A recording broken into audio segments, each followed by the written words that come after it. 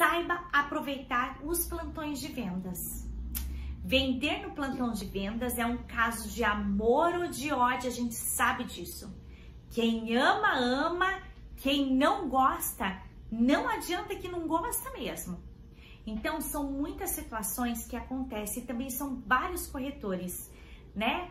Que às vezes nem é da mesma empresa que tá ali dividindo o mesmo espaço para buscar ali os clientes, né? Que precisam chegar espontaneamente. Então, pode ser que você não se encaixe nisso.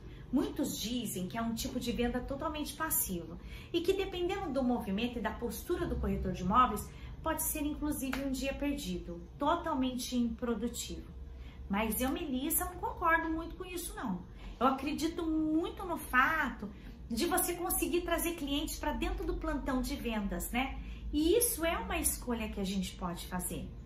Mas mesmo assim, mesmo se você acredita que tem que sentar e esperar é, o cliente aparecer, eu trouxe dicas aqui para você.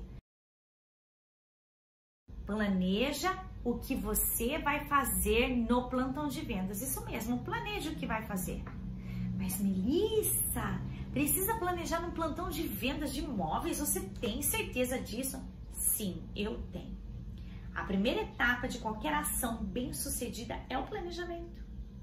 Planeje os seus horários de uma forma bem organizada, horário para você fazer ligações, horário para você mandar os seus e-mails, horário para você inclusive responder as mensagens do celular, horário para convidar os seus clientes para visitar o plantão, horário para você fazer vídeos, para você fazer conteúdos, para você postar, né, aonde você está.